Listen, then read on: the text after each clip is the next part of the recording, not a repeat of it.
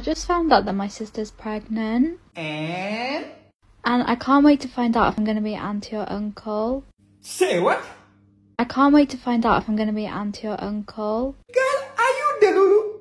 Because, like, if the baby's a girl, I'm going to be an auntie, and if it's a boy, I'm going to be an uncle. Jesus Christ on the motorbike. She thinks the baby's gender will determine her gender too. Can you imagine the chaos that would cause if that was true? I would be the first person to stop it in nature if that was true because that would mean if my sister has a daughter, I would become an auntie. And aunties get pregnant and have babies. And I do not want to get pregnant.